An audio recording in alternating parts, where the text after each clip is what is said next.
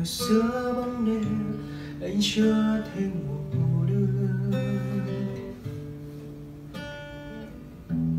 vì nỗi nhớ em vu vơ bất thường. Cảm giác đắm say, cứ thế đông đầy trong nơi trái tim.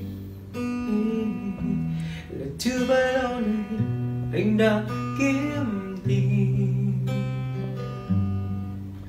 những câu chuyện thật dài mất tối những phút giây ngập ngừng bối rối.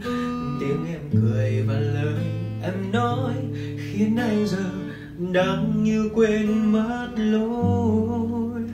Nhưng khi chạm nhìn vào đôi mắt, anh chỉ muốn ôm em thật tràn. Để anh nói em nghe, nói em nghe lòng anh. Người ơi, em có biết anh đã yêu em rất nhiều. Chẳng cần những lý lẽ để nói nên câu tình yêu. Làm như không quan tâm anh thật sự nhớ em.